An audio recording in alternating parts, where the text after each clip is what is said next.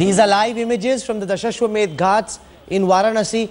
Narendra Modi's convoy is about to reach there in a short while. This is the big Modi Thanksgiving.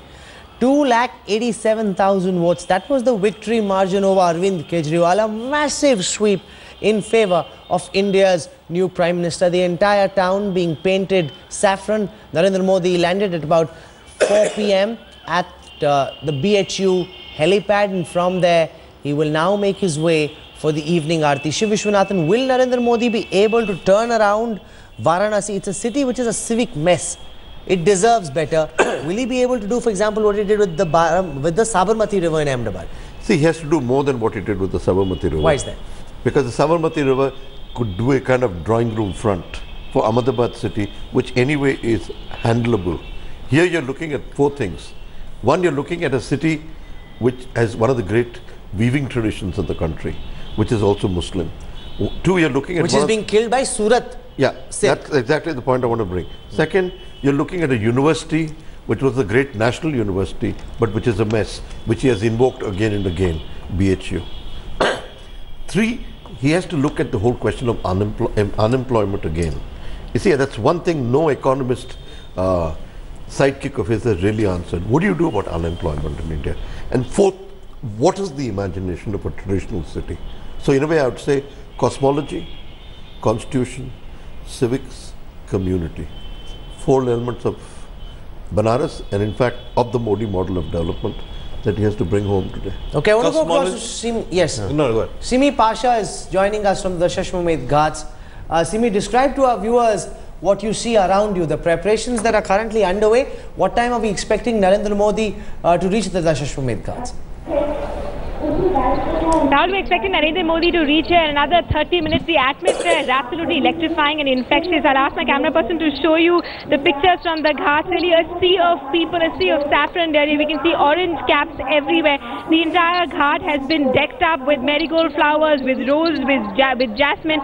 A special aarti is going to be performed in about half an hour's time. There's a VIP pandal that's also been set up uh, where uh, the, the Prime Minister of the country, soon to be appointed Narendra Modi, will be sitting and witnessing the Ganga Aarti live. The color here really magical. It's not like any other Aarti. The Aar- there- There's an Aarti that happens every evening, but today this city is uh, welcoming a man who they've elected as the Prime Minister of the country. The excitement really palpable, the air thick with anticipation. Narendra Modi expected uh, in about 30 minutes time. We do know that he has landed in uh, Varanasi and uh, he's uh, he's he's likely to go to the uh, Kashi Vishwanath temple first before making an appearance uh, here at uh, for the Ganga Aarti. Remember, he was denied permission by the election commission to participate in the Ganga Aarti two days before counting it. This is something that the BJP had uh, turned into a poll issue as well. But now finally Narendra Modi coming here, and this is uh, really uh, the, the symbolism of this Aarti and symbolism of Narendra Modi's coming to the banks of River Ganga is also really significant.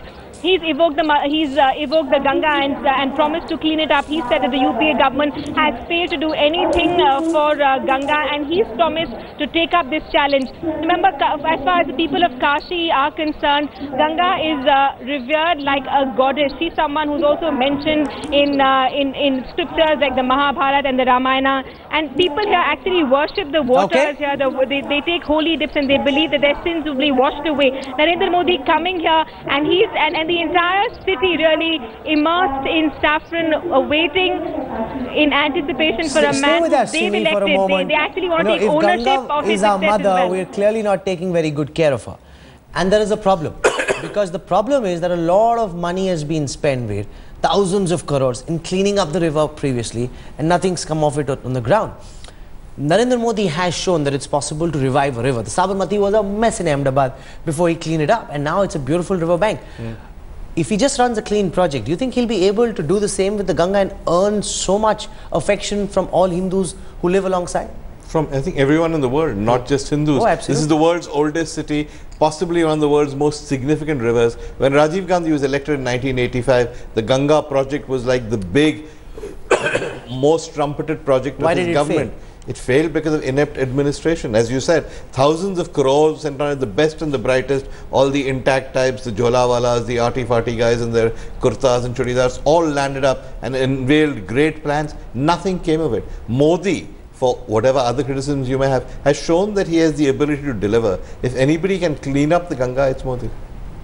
Uday Mahurkar described to us the project that Narendra Modi launched to try and clean up the Sabarmati. How much time did that take to turn uh, from the drawing board into reality? And does he have a similar plan to clean up the Ganga? He's talking about how Ganga Maya ne bulaya hai, Mother Ganga has called me to Varanasi. But does he actually have a real plan to be able to clean up the river? I do believe he has a plan and I believe by now, having known him for so many years, he must also have identified people who will do it for him. In, in Ahmedabad, of course, the story is slightly different than what you believe. In Ahmedabad, what he did was when the, uh, when the Narmada uh, uh, project uh, progressed, he linked the Narmada project water with, with Sabarmati. So the water you see flowing in Sabarmati is the Narmada water. It is, it is a, it's it's Narmada water diverted from the canal, and that's how it's automatically got cleaned up. You know, so he did not didn't have to make much of an effort. But in Ahmedabad, we should talk about riverfront. You know, the the way that's he has developed exactly what I'm saying. The fact that he, for example, look at the Yamuna riverfront in Delhi or the riverbanks along the Ganga and look at how he's actually been able to turn the Sabarmati riverfront. Took much concrete for my own personal liking, but nonetheless it's clean, it's neat, you can go there for a walk. It would have much been, would have been better if it had been more green, but he was able to achieve that and that by itself is an administrative success for him, Uday Mahurkar. Says actually Sabarmati riverfront project uh, started before Modi came. it is Modi who has taken it forward, you know, but the way he has done it, the way he has created green spaces, the way it is, you know, another point of Modi is that he makes things sustainable. In Sabarmati riverfront, things are very sustainable, you know. Suppose you want to go to a garden on the riverfront, you to pay some money. So it sustains, it's long term, it's very good, you know. Secondly, uh, he has used the riverfront to beautify the city. There are cultural centers which are coming up, there are green spaces, walking spaces. There is a, there is a two-way uh, drive also, you know. I mean, uh, the, the, for the stretch about, about uh, uh, 13 kilometers, uh, it's covered, uh, you know, the, the land which is re- reclaimed on the, on the banks. There, there is a two-way road also, you know. You can drive by the river, you know. So I think he has done a very good job of uh, Sabarmati riverfront, a project which came before him. It's not his project. It was already there when he came, you know. Tell me, Uday, Rahul. Narendra Modi yesterday laid the grounds for giving up Vadodara for Varanasi. He said during that speech that you've made me so big that I now need to go and perform a national role, uh, explaining to the people of Vadodara why he had to give up on that Vadodara seat. Have is there a sense of who might step in? Is Amit Shah most likely to come and take the place of Narendra Modi as MP from Vadodara? Is that at all possible? It is definitely possible. You see, I'll tell you one thing.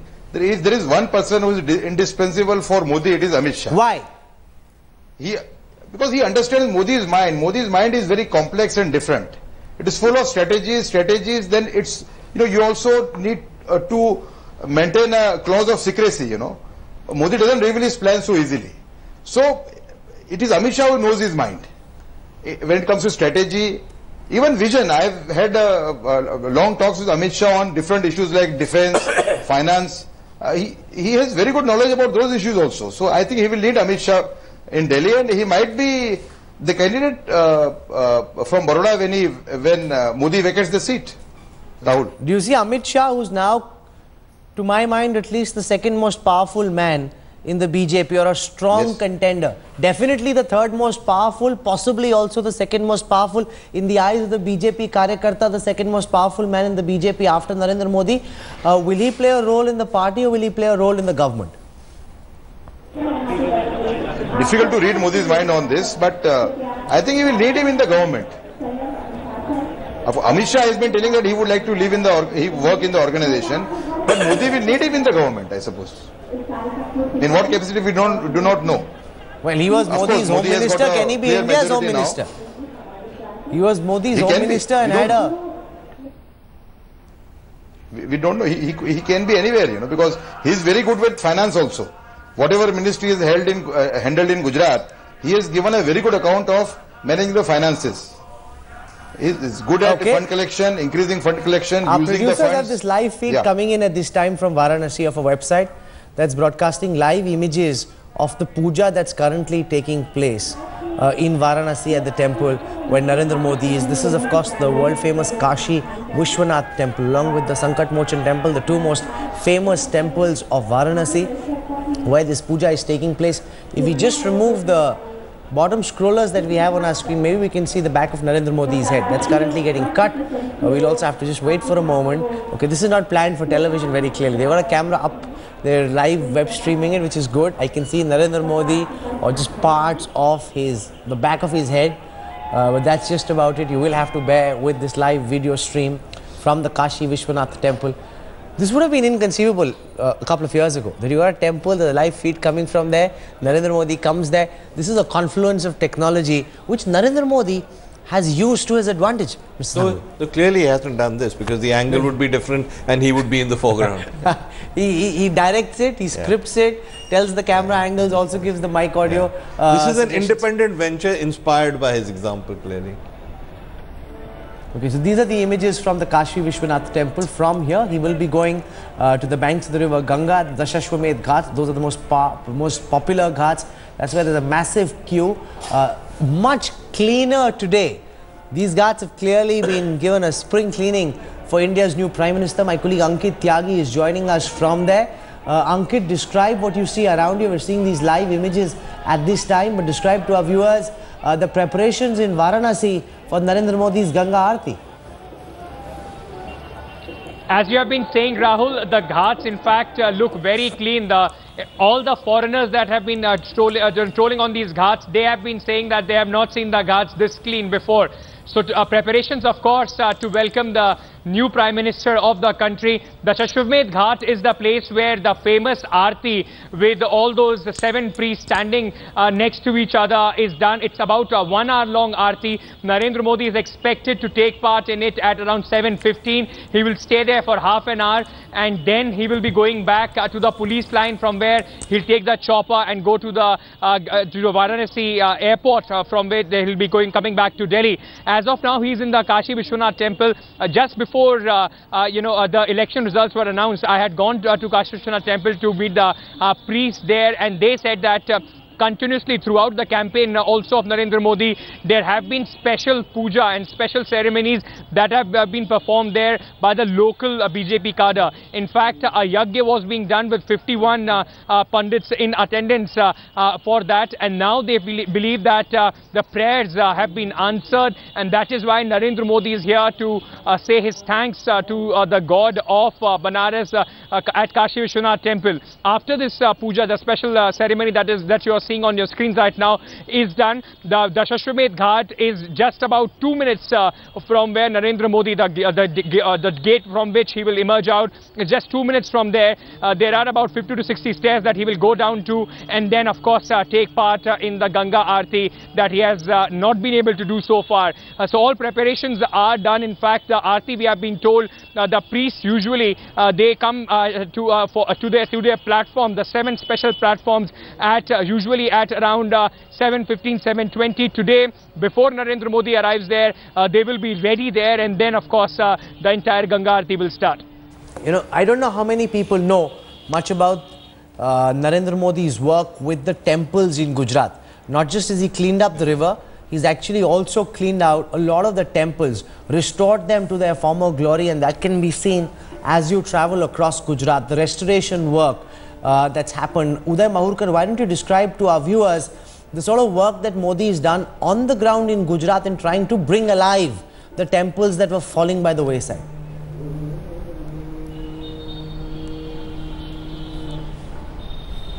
Uday? Yeah, yeah. Can you hear me? Yes, I can. Go ahead, please. Yeah. You see, say uh, there are three uh, there are three Shakti Peeths in Gujarat. Uh, Bahucharaji, Ambaji and Pavagadh. Modi has done a very good job of doing up Bahucharaji and Ambaji. Pavagad also is uh, much more cleaned up than before. Uh, uh, we take the example of uh, Bhadrakali temple in Ahmedabad. Very famous and old temple. Uh, of, it, it predates the Sultanate period in Gujarat, you know. That temple, the way he has done up the temple, uh, uh, I mean, he has beautified the temple in a way you can't even make out. It's the same place, you know. So I think he has done a very good job. Even in uh, even in Somnath, of course, the trust has done the job in Somnath, but uh, uh, Modi was one of the inspiring forces uh, of, of the turnaround in Somnath also. Okay, this is the Shiv Rudrabhishek being performed by 51 Pandits at the Kashi Vishwanath temple. Uh, Thanksgiving from India's new Prime Minister. He'll be going to the Dashashwamedh Ghats from here. But one of the great things that Modi has been able to achieve, Shiv Vishwanathan, you were in Gujarat till fairly recently, is his urban renewal mission. Most Indian cities are far worse off today than they were five or ten years ago. Gujarat is the only city where things are actually looking better with every passing year. And that is one of India's biggest civic problems, trying to ensure that our cities are able to deal with the increasing numbers of people who stay there. See, I think Ahmedabad is a manageable city. I think Modi has done a lot for it. But you have to be careful about one thing. When Modi built the waterfront in Ahmedabad, hundreds of hawkers who were around that area disappeared. There was a loss of occupation. When you're talking about the ghats, these are No, controlled. there were settlers also over there. Yeah, but who more were sent outside the city. Yeah, but the thing is, if you were to do a similar thing on the ghats, it would be a disaster. Why? The Doms of Banaras manage this. There are a whole series of, it's almost like a Jajmani system of occupations around the ghats. Cleaning up the ghats won't do. One has to understand to a certain extent the relation between the ghat, the river, and the city. It requires a deeper sociology.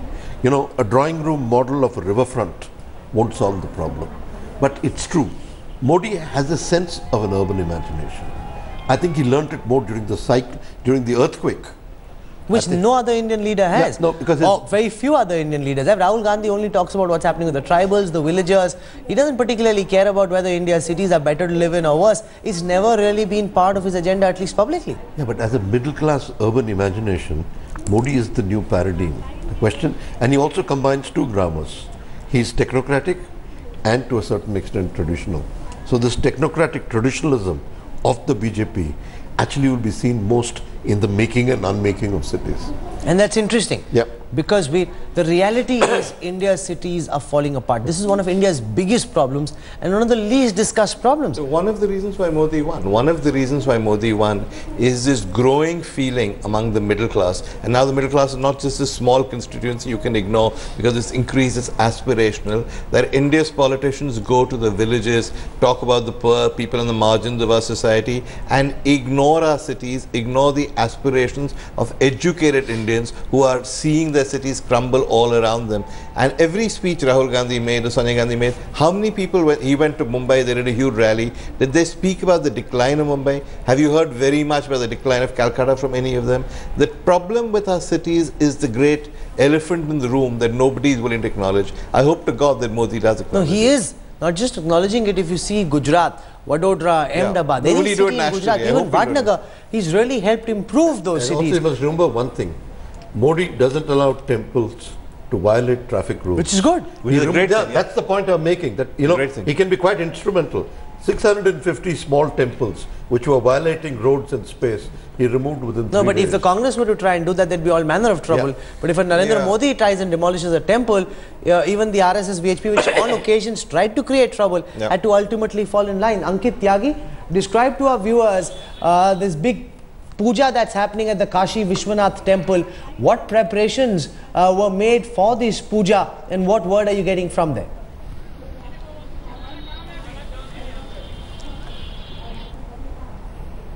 Okay, I'm going to go to Ankit in just a moment from now. This is a live feed coming from the Kashi Vishwanath temple where this puja is being performed and this is indeed a contentious issue. When you try and bring down a temple, there is trouble. When you've got a prime minister who's so rooted in a Hindutva image, no one's really going to crib because they'll say, okay, there's a temple on the roadside, then let him, as long as he's going to give it a new uh, place where, where the temple can still be around. People won't crib as much as they would. Otherwise, if someone else had done it, there would have been a riot on that issue. Absolutely. It's that famous Nixon China paradigm. Only Nixon could go to China because he'd been such a critic of China that all the Republicans wouldn't object. Modi now has the opportunity to do things that so called secular politicians who are too busy keeping everybody happy can do. Okay. I hope he takes that opportunity. So you got to remember. Same with Pakistan. He has the opportunity Yeah. there to go much further than anybody Uh, else. yeah, but except yesterday on our program, Nitin Gadkari almost went to war with Pakistan, Yeah. Yeah. and that shows that this could go either way. There is an urge also to be more militant, to be I'm not more sure. Gadkari necessarily speaks Yeah, for Modi. sure, I think, sure. I think Modi is a lot smarter than Gadkari. On the issue of temples, etc., I always feel that under inside that 56-inch chest of Modi's, there's a little Jagmohan struggling to get out. What he needs to do, Jagmohan, when he was a tourism minister and culture minister, transformed places like Ajanta, Ellora. What he needs, perhaps, is a ministry that will do all of these things, clean up these sacred spots, clean up spots of pilgrimage, spots of history, which we've just neglected. And that's completely. something that India would really appreciate if it were to yeah, happen. absolutely. In fact, And the idea of having overdue. a separate ministry for rivers, It's a I great hope one. it's not for interlinking, but to clean the rivers of India would be, I think, one of the most No, and he wants one ministry feats. for energy, I'm told. Yeah. Where Yeah. you combine all non-renewable Yeah. sources. These are very simple things to do. They're very smart things, very perceptive, and yet no one's thought about them or done them. Or even if they've spoken of them, they haven't translated them into reality. I want to go across live to Varanasi. Simi Pasha is with us from there. Simi, describe to our viewers whether this will be a regular Ganga Aarti or because there is special puja in Kashi Vishwanath with 51 priests in attendance. Will it be on a grander scale than what Varanasi sees usually? Absolutely, uh, Rahul. There's nothing ordinary about this uh, aarti that's happening here this evening. As you can see, the entire ghat has been decked up. All the people that you're seeing here are VVIPs who've been called in. There's special security arrangements in place. You have the you have the PAC, you have the NSG, you have uh, SPG commandos, you have the police, you have the military uh, military police as well. Lots and all these people are not commoners. In fact, uh, through, throughout the road that leads up to the ghat, there are thousands of people who've lined the streets waiting to get a glimpse of Narendra Modi. So, as far as the ghats are concerned, there are marigold flowers that have been uh, arranged. There, there have been decorations. In fact, uh, there, there, those, those seven podiums in which the priests are going to stand today and perform the aarti are covered with rose petals. There's girls uh, who sta- who are standing there, who, who are already seated on the podiums. They'll be performing a dance, an orchestrated aarti, along uh, with the seven priests who will be performing that aarti for Narendra Modi. There's nothing special about here about the aarti today. There, there- there's nothing ordinary about the aarti today. Special arrangements have been made uh, for uh, the Prime Minister in uh, waiting. In fact, uh, the, the ghat has been washed at least five times since morning. We've been parked here since almost six in the morning, and uh, it's been washed and swept. All the animals have been shooed away.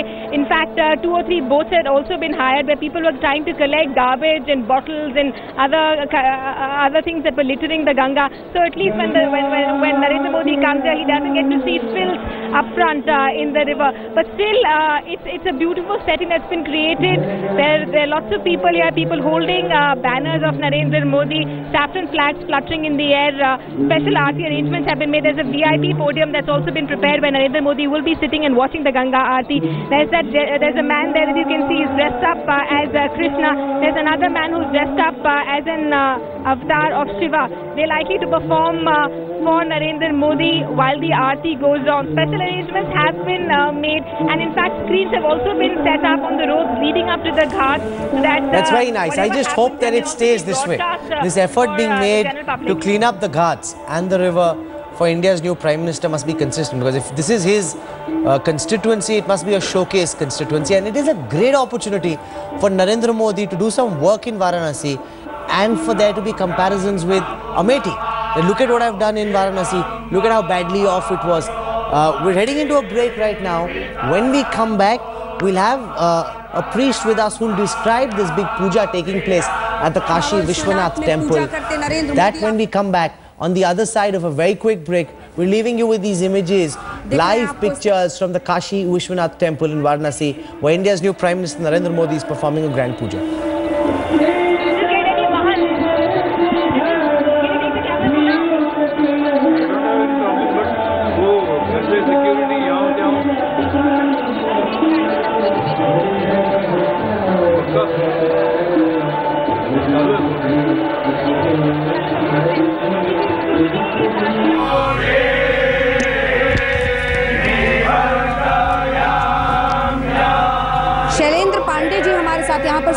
जुड़ गए शैलेंद्र पांडे जी, ये तस्वीरें लगातार आरती की हम अपने दर्शकों को दिखा रहे हैं, पूजा विधि विधान। ये रुद्राभिषेक, पूजा और उसका खास तौर पर क्या महत्व जरा हमारे दर्शकों को बताएँ। देखिए, मैं पहले बता दूँ कि शुक्ल यजुर्वेद में रुद्राष्टाध्यायी के मंत्र बताए गए हैं और रुद्राष्टाध्यायी के मंत्रों के माध्यम से यह रुद्राभिषेक देख पा रहे हैं। रुद्राभिषेक वैसे अपने आप में बहुत महत्वपूर्ण होता है, इसमें कोई दो राय नहीं है, लेकिन अगर ये रुद्राभिषेक किसी ज्योतिर्लिंग पर किया जाए तो इसकी महिमा बहुत ज़्यादा हो जाती है। ज्योतिर्लिंग पर सस्वर रुद्राष्टाध्यायी के मंत्रों का जाप हो रहा है लगातार और विभिन्न तरह की चीज़ें अर्पित की जा रही हैं। जैसे अभी पुष्प चढ़ाया गया, दूरवा चढ़ाया गया और तमाम चीज़ें अर्पित की जाएँगी और ये एक लंबी प्रक्रिया होती है। हालाँकि षोडशोपचार पूजन जैसा अभी देख रहे थे कि समाप्त हो चुका है और अभी मंत्र जाप के साथ तमाम चीज़ें अर्पित की जा रही हैं। ऐसा लग रहा है कि ये कामना पूर्ति की पूजा है, क्योंकि जिस तरह के मंत्रों का जप हो रहा है और जिस तरह की चीज़ें अर्पित की जा रही हैं, जैसे अभी जल अर्पित किया जा रहा है।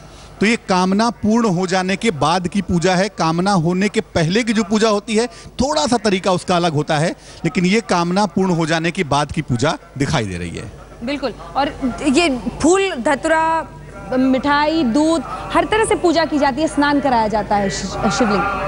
देखिए दो तरह से अमूमन शिव जी की पूजा होती है एक पंचोपचार पूजन पाँच तरह की चीज़ों से और एक षोडशोपचार पूजन सोलह तरह की चीज़ों से। तो ये षोडशोपचार पूजन लग रहा है इसमें सोलह तरह की चीज़ें अर्पित करके भगवान शिव की कृपा प्राप्त की जा रही है। जी आप बने रहिए हमारे साथ शैलेंद्र जी इस बीच सीधे लिए चलते अपने दर्शकों को श्वेता हमारे साथ बनी हुई है और